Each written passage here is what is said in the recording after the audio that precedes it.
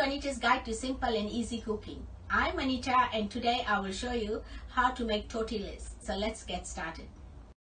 I've got here 3 cups of plain flour, 3 teaspoons of oil, 1.5 teaspoons of baking powder, 1 teaspoon of salt, 1 teaspoon of sugar, some extra flour for dusting, and 1 and a quarter cups of hot water.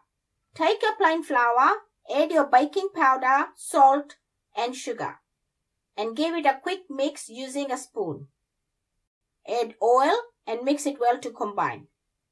Add water little by little and mix it using a spoon.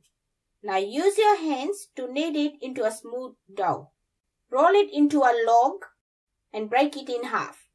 Take one half at a time, roll it into a log again and break it into five equal sized pieces. Take one dough piece at a time, roll it into a ball, coat it with the dry flour and flatten it slightly. Repeat this with the remaining dough. You should end up with 10 flattened balls. Take one flattened ball at a time and roll it into a big circle or roti and put it on one side. Repeat this with the remaining flattened balls. To cook the tortillas, take a non-stick fry pan, put it on medium heat and heat it for 2 minutes or until hot. You will also need to line a plate with a clean tea towel and place a paper towel on the top. When the fry pan gets hot, carefully place one tortilla on the top and cook it until bubbles start to appear on the surface. Flip it over and let it cook for 30 seconds. After 30 seconds, press it lightly on the top using a soft cloth or a spatula. Flip it over, press it on the top again.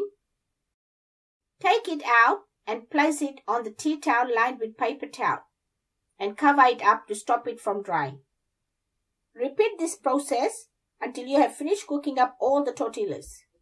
My homemade tortillas are ready. Use it warm or cold to make your favorite wraps. Leftover tortillas can be stored in the tortilla container or a Ziploc bag and kept in the fridge, warmed up and used for up to one week. To use them, just take the required amount out, warm them up in the microwave or on the stove and use it to make your favorite wrap. Enjoy. If you like this video, please give it a big thumbs up.